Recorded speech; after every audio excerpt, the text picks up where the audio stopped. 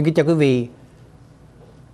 Chương trình Dito uh, ờ, Sài Gòn Tử vi của chúng tôi với chương trình Tử vi và số mệnh hân hạnh trở lại phần thứ ba với chủ đề ờ, uh, Tử vi Việt Nam và Tử vi Tây Phương sự đồng điệu.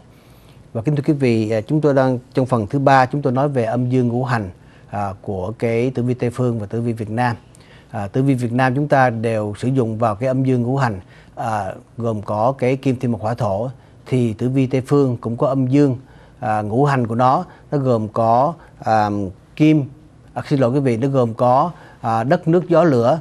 Tức là nó gồm có cái earth water uh, air and fire. Đất nước gió lửa. Tức là à, trong nhà Phật thì giảng thì chúng ta có cái thân tứ trụ này cái cái cái cái cái đất nước gió lửa trong người chúng ta sẽ có một ngày tôi gọi là sắc sắc không không sẽ bị hủy diệt. Thì trong lá số tử vi của Tây phương người ta sử dụng đúng đúng bốn cái hành đó à, để làm cái lá số tử vi của Tây phương. Thì trong cái ngũ hành của Tây phương thì cũng đều có những cái cung dương và cung âm. Ví dụ như cái cung bạch dương là Aria là dương đến cung kim ngưu là âm song tử là dương cự giải là âm và sư tử là dương và đến cung uh, Virgo uh, là âm. Thì nó cũng đi tuần tự như lá số tử vi của Việt Nam đều có âm dương và ngũ hành của nó thì chúng ta biết rằng là mùa xuân thì hành mộc ở cung dần và cung cung mão. Đến mùa hạ thì cung tỵ và cung ngọ. Đến mùa thu thì cung thân và cung dậu đến mùa đông thì là cung à, hợi và cái cung à, tý. Thì thưa quý vị à, ở bên tây phương thì người ta sử dụng bằng cách như là cái tam hợp của ngũ hành cái cung à, bạch dương với sư tử với lại nhân mã đó là hành hỏa và cái kim ngưu với sư nữ với ma kết đó là hành thổ. Và cái cung song tử à, song tử là bảo bình à, song tử và à, thiên bình tức là thuộc về hành e. Và cái hành hành hành về thuộc về water tức là hành về, về thủy đó tức là cừ giải à, con cua ở dưới nước hổ cáp cái con à, à, con bò cạp scorpion đó và sông ngư thì ba cái phần này nó thuộc về à, hành hỏa. Như vậy chúng ta thấy rằng là ở trong tử vi tây phương và tử vi việt nam nó cũng có những âm dương ngũ hành và nó có những cái cung mệnh à, cung mệnh cái cái vòng à, hoàng đạo à, như dần mở thiền tiện vào mùa tháng nhật tức hợi thì nó lại có cái à, bạch dương kim ngưu à, song tử và cừ giải. Và nó cũng có cái à, cái mệnh cung cũng trong lá số tức là cái tôi gọi cái ascendant ở trong tử vi tây phương gọi là ascendant tức là ở cái thời điểm đó à, của cái tháng đó nếu quý vị à, sanh vào ở cái longitude và latitude nào đó thì mặt trời mọc ở thời điểm nào. Thì trong cái ephemeris tức là ephemeris tức là những cái à, chu kỳ về cái thời gian mọc và mặt trăng lên xuống thế nào cũng như tất cả các vì sao đó thì chúng ta có cái niên kỷ người ta làm từ hàng năm một ta đã à, in sẵn. Thì tuyệt vời thay là cái cái ascendant là cái cung personality của trong tử vi tây phương chính là cái mệnh cung ở trong lá số tử vi của chúng ta. Bởi vì mệnh cung trong lá số tử vi của chúng ta khởi từ cái tháng đó chúng ta đi nghịch lại thì lúc đó chúng ta biết rằng cái thời gian nó bắt đầu phát thái dương bắt đầu mọc vào thời điểm đó. Và cuối thời gian của mình là phần thường thường là cung thiên di tức là cái cung nghịch lại. Có khi đó là trùng hợp. Nói chung tử vi tây phương và tử vi việt nam chúng ta phép xem đều giống nhau, sự cấu tạo thành một lá số cũng giống nhau và sự luận suy cũng đều giống nhau. Cho nên sự tương hợp này là một cái việc vĩ đại cho những người nào à, đã nghiên cứu tử vi Việt Nam và nghiên cứu tử vi Tây phương. Khi đã nghiên cứu tử vi Việt Nam rồi thì qua nghiên cứu tử vi Tây phương rất là dễ dàng. Hoặc nghiên cứu tử vi Tây phương rồi thì chạy về đến tử vi Việt Nam rất là dễ dàng bởi vì đó là sự sự tương đồng đồng điệu từ cách thành lập cho đến cái sự à, giảng giải lá số tử vi và nguyên lý của nó đều giống nhau như thế chúng ta thấy rằng là tây phương và đông phương không hề mà gặp cái trí tuệ của con người nó sự phát triển ở đâu đó từ phương tây và đâu đó từ phương đông trí tuệ của những, những người trên trái đất chúng ta nó đều có một cái giai đoạn nào đó trí tuệ nó phát triển và nó đến cái thời kỳ đó nó sẽ phát hành ra một cái nguyên lý gì đó ở trong cái cái văn học trong cái chính trị ở trong cái cái cái, cái kinh tế ở trong những gì cái nền văn minh vân vân. Nói chung là nó có thời điểm nó cùng tương hành mà phát. À, ví dụ như người ta nói rằng là à, đến ngày hôm nay thì à, chúng ta thấy rằng qua nhiều kỳ thời kỳ phát triển những sự phát triển nào trên thế giới nó đều nó đều có hết ví dụ như bây giờ một số người ta nói là xe bắt đầu khởi từ Anh quốc hoặc là xe phát minh từ Đức vân vân xe phát minh từ Mỹ vân vân thì chúng ta không không không xác định rõ ràng. Hoặc là những cái phương pháp những cái phương trình về à, những cái công trình về y khoa có khi là phát xuất tại Pháp có khi phát xuất tại Ý có khi phát xuất tại Lan Đan Mạch vân vân. Nói chung là trình độ trí tuệ của con người nó cũng phát triển theo thời gian.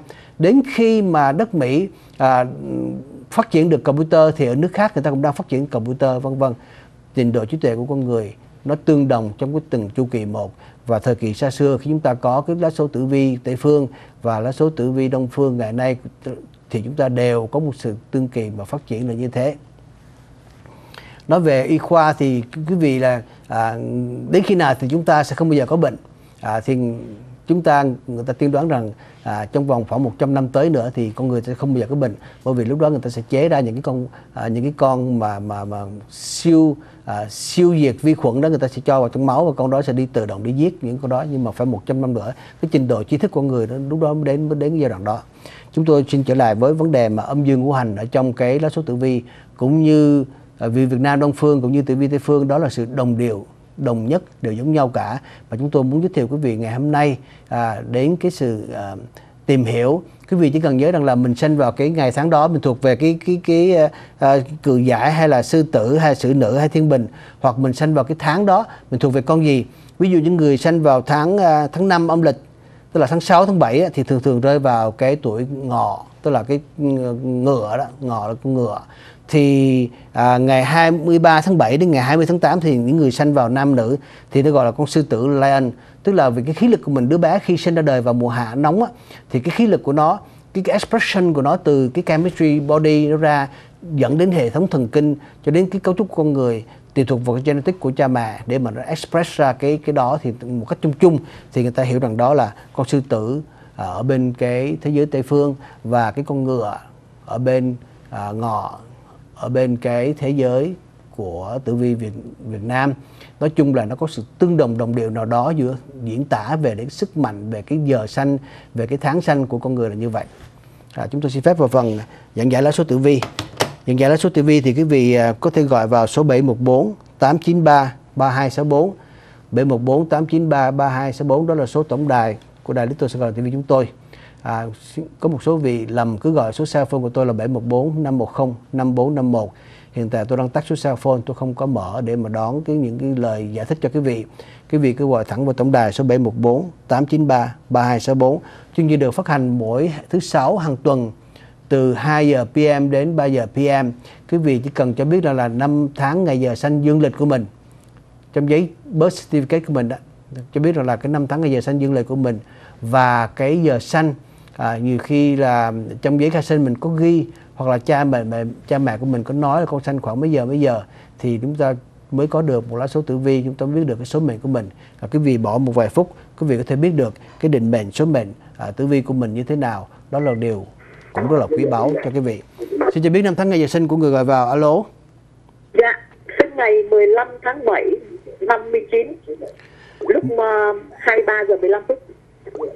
23 giờ 15 phút tới 11 giờ tức là chắc chắn là cô sẽ sinh vào giờ tí nha. dạ 59 23 giờ 23 giờ giờ tí. À, nhưng mà chỉ có một điều như thế này à, bởi vì lý do rằng à, lý do rằng là ở Việt Nam mình khi mà lấy thì lấy cho cô à, ngày 23 à, ngày 15 tháng 5 nhưng mà rất tiếc là bởi vì à, cô đã vào giờ tí rồi cho nên cô phải gọi là ngày 16 tháng 7 nha. Ngày 16 tháng 7 đời của cô là ngày 16 tháng 7 năm 1959 sinh vào giờ Tý. Giờ Tý. dạ Thì cô có cái mệnh là mệnh đây là mệnh thiên cơ ngộ kình đấy, bạch hổ. Người à, người đàn bà này là à, trong năng nổ làm việc mà sức khỏe không có được không được như ý nha. Lúc nào cũng bận việc làm việc đời của mình vào cuộc đời sớm lắm lo kiếm tiền kiếm bạc mà thành tựu đời của mình lúc còn sớm tuổi lắm nha. À, nhưng mà làm thì được cuối cùng mất hết không đạt gì hết. Mãi cho đến khi về tới 35 tuổi trở lên thì bắt đầu mới ờ, mới là có tiền có bạc mới thành công chính thức. 35 tuổi bắt đầu giàu có cho tới 45 tuổi cho đến 55 tuổi à, tuy nhiên khi mà về đến cuối đời mình thì lại mất lại hết nha. Từ gần đến cuối đời tới khoảng chừng 6 à, 50 57 năm 89 là mất lại hết chỗ đó phải làm lại có khi phải đi học lại để tạo cái cơ nghiệp mình. Cuối đời của mình là mình tương đối thành tựu về sức khỏe con người à, tiền bạc tương đối thành công. Đây là một người khá may mắn nha khá may mắn về cái cuộc đời của mình. Nhưng mà trong gai từ buổi đầu đời của mình vô cùng à, số vất vả. Và đường chồng của mình sẽ là cái người mà à, được à, tôi gọi là được hạnh phúc và có chồng con đầy đủ. Chúc may mắn. Dạ cảm ơn thầy. Kính thưa quý vị chúng tôi vào phần quảng cáo thương mại của đài xin hẹn gặp lại quý vị trong giây lát xin kính chào quý vị